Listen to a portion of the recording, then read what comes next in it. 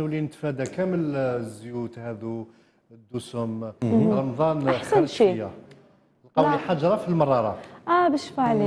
إيه، وقال لك آه، من ال- والحاجة اللي آه، اللي خلاتها تبان أنا كنت يوميا ناكل بيض مغلي.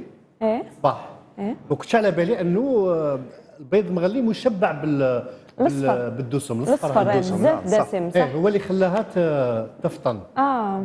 بالشفا عليك. ولهنا عندك وشكليت لطفي. شطيت حوش مو هذاك لسان. البقرة ولسان الوكري خلاص كل حبسوا أنا كنت أنا كنت كنت كل حاجة فيها دسم آه. نتشهاها ونحب حب. المراقي انت لطفي. وزلوف دوارة. صح. الجلده الجلدة هذيك تاع الدجاجة خلاص حكيتها لنا هذه لطفي.